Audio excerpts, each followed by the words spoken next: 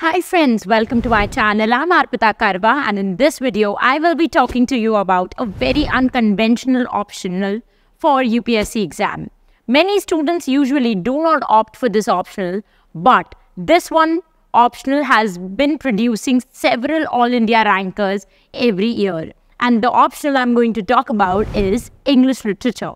So with this video, I will break your myths that makes you think that English literature is not a scoring subject for UPSC optional.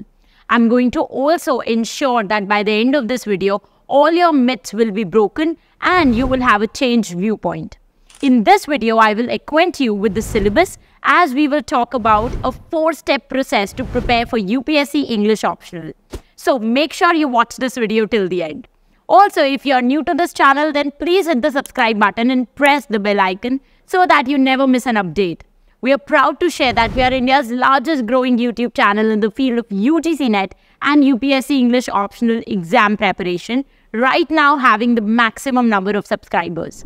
Guys, it is true that many people believe that English literature is an unconventional, difficult and a less scoring optional. However, this isn't the fact. This optional would make sense for specific people and not for every UPSC aspirant. Now you must be confused as to what do I mean by specific people. Let me clarify that for you.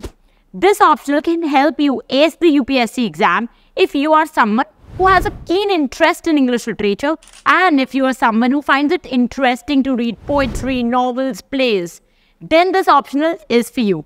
In fact, to ace your UPSC optional, you will need to devote about 500 hours to this optional. But you need to keep in mind that you cannot devote 500 hours to an optional which you dislike. So English literature as an optional should only be chosen, only and only be chosen if you are someone who genuinely likes English. Now through this video, I will give you four steps to help you begin with your English optional preparation for UPSC. My aim would be to give you a complete blueprint using which you will be able to score really high marks in your UPSC exam. So let us begin with step number one, which is to know your syllabus. Knowing the syllabus is the fundamental requirement to clear any exam. So after this video, please visit the UPSC website and download the syllabus of English Literature optional. Or you can visit my website arpitakarwa.com and get the detailed syllabus of UPSC English optional. Now, another important thing that you must be aware of is that the syllabus is divided into two papers, paper 1 and paper 2. But irrespective of which paper you are preparing, you need to complete the entire syllabus. So on our website, you will find the syllabus is arranged in a chronological manner where we have clubbed both the papers, paper 1 and paper 2. Reading English literature in chronological order will help you to get a better sense of the syllabus. Coming to the English literature optional syllabus, you have about 50 novels, 5 plays and about 60 poems to study. In addition to these works, it is necessary that you have a basic understanding of the history of English literature. You also need a good grasp over basic terminology such as modernism, stream of consciousness, absurd drama, psychoanalytical criticism. You won't find these basic concepts mentioned anywhere in your syllabus, but it is important to know and understand them so that you can use them in the answers and make them stand apart. Now let us move on to step number two, which is analyzing the previous year papers. The syllabus only tells us which topics to read but does not shed light on what all to read in the topic. Going through the past year papers, you will find the kind of questions being asked from each text and that will help you form a perspective through which you can deal with every text. You will also find that there are several repetitive questions which are asked every year with a slight modification of the language. So I would suggest you simply look up the previous year papers, sort and club the questions from a particular topic together and then study that topic. Or instead, to save your time and efforts, you can directly go to our website arpitakarwa.com. In the past year paper section, you will find all the past year papers of UPSC English optional. You can go and check out those papers in detail and streamline your preparation. If you are wondering why am I emphasizing so much on analyzing past year question papers, then let me tell you a simple reason by giving an example. For example, you're reading the play A Doll's House, which is by Henrik Ibsen. And after reading the entire play, you look at the past year paper and find that a question has been asked. What's the question? How does Ibsen externalize inner problems by using effective symbols in a doll's house? Now, after glancing at this question, you will realize that while studying a doll's house, you haven't jotted down any points or mentioned any incidences that substantiate your answer. But since you didn't look at the past year papers before studying and making notes of the text, you might have to redo the entire exercise. Hence, it is always advisable to run through the past year papers before you start making notes. Now, with this, we come on to the third step, which is reading and making notes. It is the most crucial and the most time-taking process. Now, what is this all about? Before starting this topic, I would want to give you a very important disclaimer. What I am about to say may not be agreed upon by many teachers and many aspirants, but I'm sharing this based on UPSC toppers' experience and also based on my own experience. So please listen to what I have to say in a calm and composed manner and try to test it and implement it. The topic I'm referring to is how to read a text and make notes. The traditional approach which you can find across various YouTube videos suggests that you can study each and every work in detail rather than its summary. So they would want you to study the entire text. But I would like to take a completely different approach. I would always suggest students to invest time in reading the summary and not reading the original text. I have some very scientific facts to back up my point. And that is why I'm saying this with so much confidence. The first one is that reading the text is a very time consuming process. In the UPSC preparation, your majority of time is mainly devoted to various other subjects like history, polity, economics, current affairs.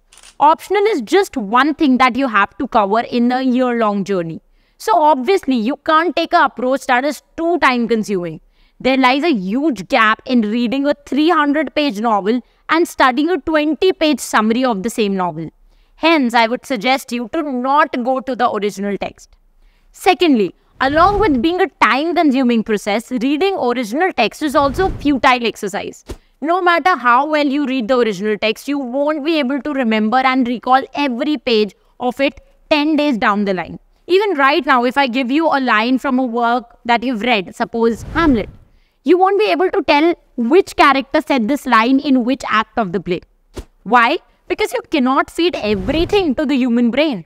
You have to rely on revisions, but even after being a time consuming process, there is hardly any chance that you would be able to recall from the main text, which makes this entire approach very, very futile.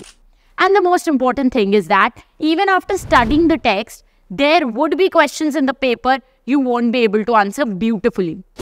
For example, take a question from King Lear as to discuss um, the ways in which King Lear explores the theme of power.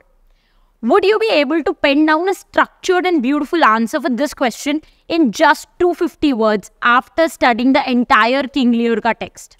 In majority cases, students would write down an answer which won't be structured because they would be writing from tits and bits uh, that they would recall from the text in a very randomized fashion. And this is never going to fetch you any marks. So you might be able to understand why am I emphasizing so much on summaries rather than the text. But there is also a right way to read these summaries. Now let me tell you the correct way to read the summaries. So firstly, you need to read the detailed summary of every work, be it a play, poem or a novel. For this, we have a separate online course specifically designed for UPSC English optional students wherein we use animations to help you understand every text in detail. We even provide every critical detail related to the works along with a PDF on how to write answers on all these topics. With the sample answers and the PDF, you can learn the right method to write these answers. So if you're not enrolled in our online course but are preparing using your own sources, then along with detailed summaries, you also need to read the age in which the work was written. Important quotations, themes, symbols, motives, references, and critical comments all these topics must form a part of your answer. That means you must make detailed notes on these topics. This can be a very, very tiresome process. And that is why we recommend you to join our online course where we provide you with the topic wise video lectures with rich animations covering all the topics in a step by step manner. And this works even when you've not done any previous preparation. So, for example, there's a question uh, that how does George Eliot portray the relationship of siblings in Mill on the Floss? To write the answer of such a question, only a detailed summary of Mill on the Floss won't work. You have to explore the character of Tom and Maggie Tulliver and take instances from there. Then there are a lot of symbols and motifs which actually reflect and comment on the brother-sister relationship. You need to use those motifs in drafting your answer. And that is how you will make proper answer. Finally, let's discuss where we should make the notes from. Guys, I've always been a topper both in my graduation and my post-graduation. I've also cleared UGC NET English Literature exam in the first attempt, which is said to be one of the toughest exam in the field of English literature. But I'm not here boasting about my achievements. What I want to highlight is that whenever I was preparing for any exam, there were plenty of sources that I was referring to and the same sources I recommend you to refer for your UPSC English optional preparation. One of the sources are the literary websites available online like LitCharts, BookRags, GradeSaver, Course Hero. You can purchase the subscription of all these websites, download their detailed PDFs and study them thoroughly. Do remember that a short synopsis of the works won't work. You have to study the detailed summary of all the prescribed text. You can also go ahead and watch a movie on that particular text. A movie will help you understand the work in greater depths and will definitely leave a longer imprint on your mind. So whenever you watch a movie, it is actually going to stay in your mind even on the day of the exam. The issue with the movies is that it doesn't provide you all important facts that are there in the book. A good alternative to these movies are our online video course where you will get animated videos for every topic. A crucial benefit of our animated videos is that every character and each detail of the plot gets imprinted in your mind and becomes very easy for you to remember. The link of our website and all our courses are given in the description box below. You can check out the course details from our website and even watch free demo lectures and attempt free demo mock tests before you decide to enroll in the course. So this was all about step number three. Now we finally move on to the most crucial step, which is step number four, practice answer writing. Now, a lot of people ask you how to write an appropriate answer. Since the answer writing portion is a very detailed and crucial topic, I would like to address it in another video.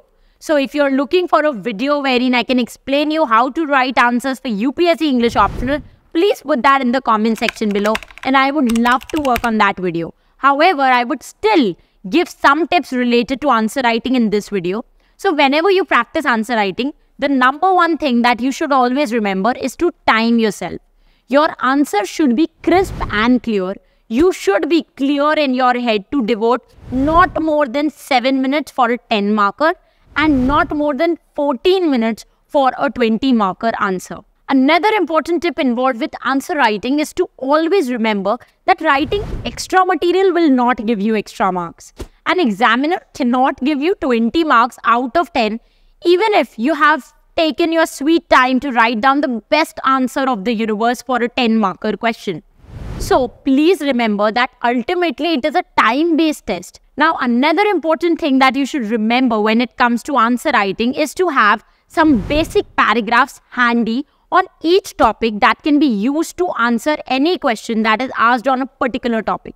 So, in every answer, irrespective of what they are asking in the question, you have to talk a little bit about the author of the work, the age in which the work was written. You have to include an introduction and a conclusion. You have to include some important quotations as well as some critical comments which were spoken about that particular work or about that particular author. Since you will be writing all these parts in your answer, it somewhere comfortably forms 60% of your answer. This 60% answer is going to be almost same for any question asked on a particular work. It is only 40% answer which you have to change based on what the question is asking. Hence, while practicing answer writing, do make it a point to keep the 60% of your answers static. In short, you should mug up the 60% portion and pour it in your answer sheet as it is on the day of the exam. This will save a lot of your time and help you by giving some more time to beautifully craft the remaining 40% of the answer.